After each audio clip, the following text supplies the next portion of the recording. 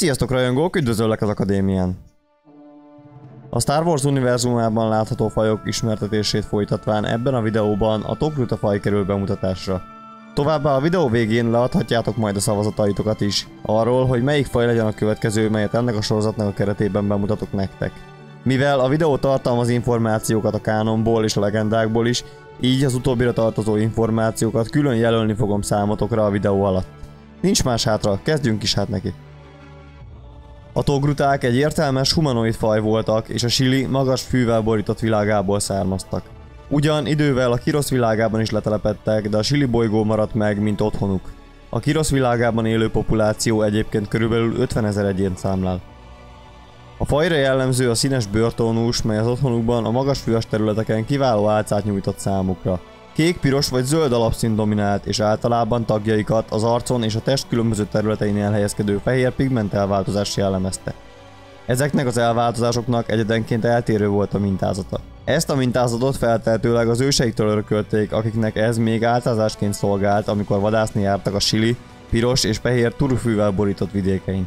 A bőrszínen túl fő jellegzetességük a tülegfajnál is megfigyelhető fejcsáp. Ezekből a tokrutafaj képviselőinek általában három, vagy ritkább esetben négy is van. Ezeket a fejcsápokat egyébként lekkunak, vagy néhány faj esetében csuncsinnek is hívják. Fejcsápjaikon túl még rendelkeznek üreges, szarszerű kinövésekkel is. A fiatal togruták szarvai és fejcsápjai még nagyon kezdetlegesek és csak felnőtt korukban fejlődnek ki teljesen. Ezek a szarvak képesek voltak ultrahangok segítségével behatárolni a körülöttök lévő mozgást és egyes objektumok távolságát is. Bármilyen hihetetlen is, de a togruták egy húsevő ragadozófajnak számítanak, így aztán helyes és éles tépőfogakkal rendelkeztek. Feltételezhetően ezt őseiktől örkölték, akik még timiarokra vadáztak az ősi időkben, mely egy a silinősonos rákcsálóféle volt. Testük egyébként teljesen szörtelen, magasságuk átlagosan 150-190 cm közötti, élettartamuk pedig úgy nagyjából 95-100 év. A togruták társadalmát főként az egység és az összetartozás jellemzi, mely még egy a szintén az ősöktől örökölt ösztönön alapszik. Amikor is a Silim még olyan hatalmas és veszélyes ragadozók vadáztak rájuk, mint például az Akul. Ez egyébként leginkább egy a Nexushoz hasonlítható élőlény volt. A Sili hatalmas füves vidékein számtalan erdő húzódott, ezekben magasan építkezve éltek a togruták is, kisebb közösségeket alkotva. Ismerté váltak arról a szokásukról, hogy nem hordtak cipőt, melynek alapja az volt, hogy a faj tagjai hittek abban, hogy spirituális összekötetésben állnak a világgal, amiben élnek, és a cipő szerintük elszakítja ezt a köteléket az anyavilággal. Ugyan sok értelmes faj primitívnek nézte őket miatta, de volt egy szokás a közösségekben – mégpedig az, hogy aki nem képes lépést tartani a csoporttal, azt magára kell hagyni. Ezt tartották az életük és a természet útjának. A togruták a saját togruti nyelvükön túl még kiválóan beszélték a galaxis szerte ismert alapnyelvet is. Lényegében a faj tagjait nyugodt és békés viselkedés jellemezte, azonban ha a helyzet úgy hozta, akkor igazi harcossá váltak.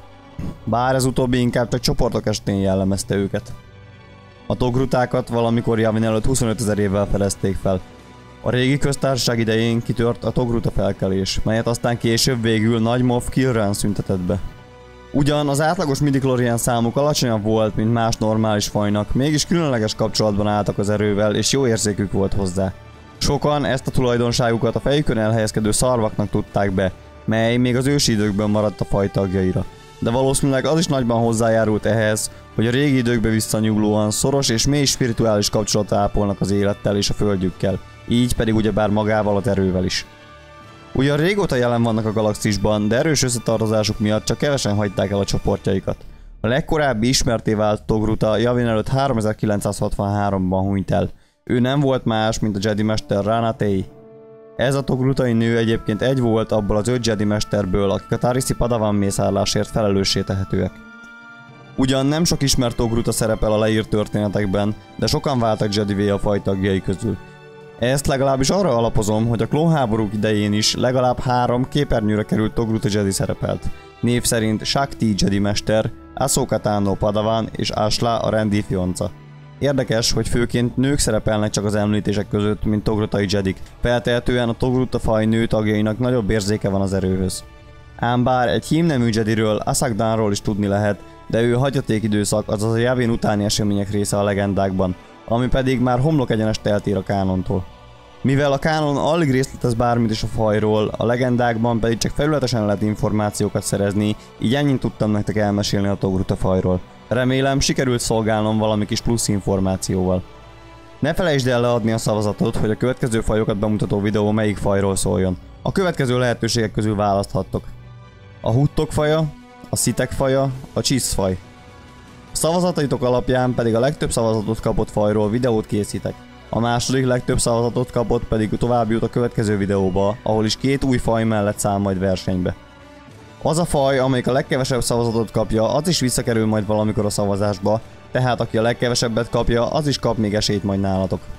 Ennyi lett volna a mai videó. Ne felejtsétek el, hogy még javában fut a Star Wars Akadémia nyereményjátéka, melynek a linkjét a leírásban találjátok. Köszönöm a figyelmeteket! Amennyiben élvezted a videót, akkor dobd rá egy lájkot, valamint ha még nem tetted meg, akkor iratkozz fel a csatornára. Továbbá keresd fel az akadémiát Facebookon és Instagramon is. Köszönöm a figyelmeteket, és mint mindig, az erő legyen veletek!